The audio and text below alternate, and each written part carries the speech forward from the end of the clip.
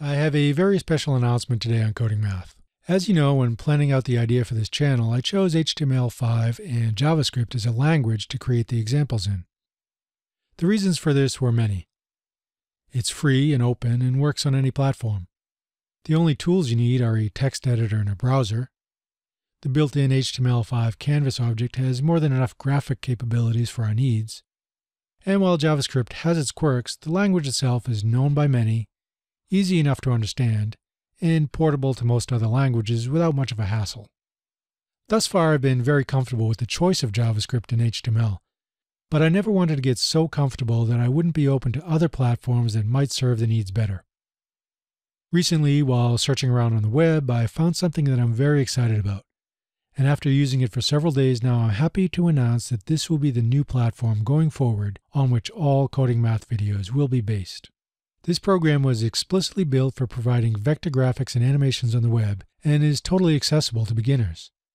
I'm excited to announce the future of coding math, Future Splash Animator. Future Splash Animator is a fantastic program, and I think you're going to hear a lot about it in the years to come. The name is a bit of a mouthful, but I imagine it will come to be known as something shorter, perhaps just Splash. It's produced by a company called Future Wave Software, here you can see their site, where you can download trial versions of the software, find out about the Future Splash player, the Future Splash Animator program itself, view demos and samples, and find out about other products like Smart Sketch. Let's take a look at the program. I'll fire up my PC.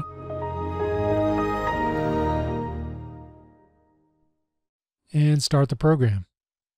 When it launches, you're presented with a large white area down here called the stage. On top is a timeline where you can create animations. And over here on the left is a vast array of drawing tools. I'll grab the pencil tool and draw a circle. And bam, it's magically transformed into a nice smooth vector circle. Or something close enough to a circle. No more trying to memorize the 18 or so parameters of the arc method. I'll fill this with red using the paint bucket tool. And now watch this. I'll select the whole thing and turn it into a symbol called ball. This symbol can now be reused anytime we want a red circle-ish thing. I can open up the symbol palette, and there it is. Now note that I can move this symbol around on the stage by clicking and dragging. Now let's animate it. Up on the timeline, I'll select 30 or so frames right-click them, and choose Insert Frame. Now we have 30 frames in our animation. By default, splash animations run at a blazing 12 frames per second, so that'll give us plenty. Next, I'll right-click again and choose Interpolation and select a Motion Interpolation. I'm hoping they find a catchier name for that too, maybe a Moterp. Now I can select the last frame in that Moterp and make a keyframe. I'll change the position of the ball on that keyframe. Now I can scrub back and forth in the timeline and look at that, motion. Furthermore, I can hit the Enter key and see it play out in real time. Now I hope you can see how much easier this is than what we've been doing with code. No need to worry about request animation frame or timers, no velocity or gravity variables to keep track of, finding the context, setting fill styles, manually drawing objects, etc. Furthermore, there's something called frame actions, which are super powerful. If I select this last frame and choose frame action, I get a robust list of actions that I can add to this frame to control playback. I'll choose go to and play. I like the sound of that. Now I'm presented with a UI to enter the parameters for this action. I think this kind of visual programming paradigm is the future. It virtually eliminates syntax errors, and you don't have to remember what all the parameters are for a whole bunch of commands. I really applaud them for going this route, rather than creating a whole new language for scripting actions. I look forward to seeing how this UI evolves and proves to the world that hand coding is a thing of the past. I'll leave the frame as 1 and close this dialog. Now in the Play menu, I'll select Do Play Actions. This will make the movie execute any actions that have added to any frames.